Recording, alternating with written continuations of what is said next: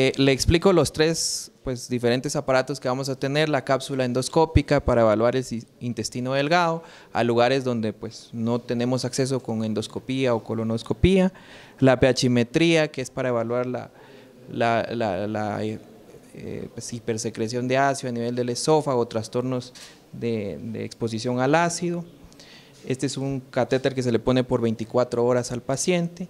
Y el catéter de manometría que es un catéter de alta resolución que nos permite a través de pues este catéter pues localizar los trastornos motores del esófago que tiene el paciente, ¿verdad? Este no lo lleva al paciente, se le hace el procedimiento eh, y pues solo se le, se le pone la sonda y se le quita el mismo día, ¿verdad?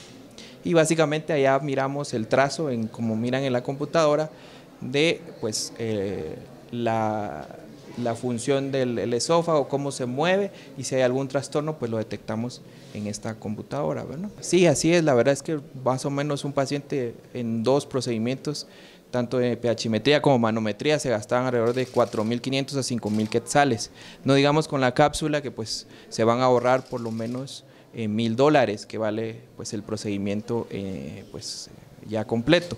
Entonces, obviamente estos, estos procedimientos tienen que hacerse a los pacientes pues que lo, necesitan, no a todos, pues cada paciente va a necesitar eh, diferente procedimiento y este pues nosotros, nosotros lo evaluamos, los médicos de acá lo evaluamos y ya decidimos qué, procedimiento necesita. En el sistema público somos el único lugar que tenemos estos, estos, estos completo el, sistema de motilidad, porque el, el, Hospital General San Juan de Dios tiene pues cápsula endoscópica, sin embargo no tienen para evaluar esófago ni, solo tienen para pHimetría. Entonces nosotros somos el único centro que tenemos las tres completas. Sin embargo, el equipo de manometría de alta resolución, junto con el equipo de manometría anorrectal en tres dimensiones, somos el único centro a nivel de Guatemala. Esto incluye centros privados y centros nacionales que vamos a tener esta tecnología.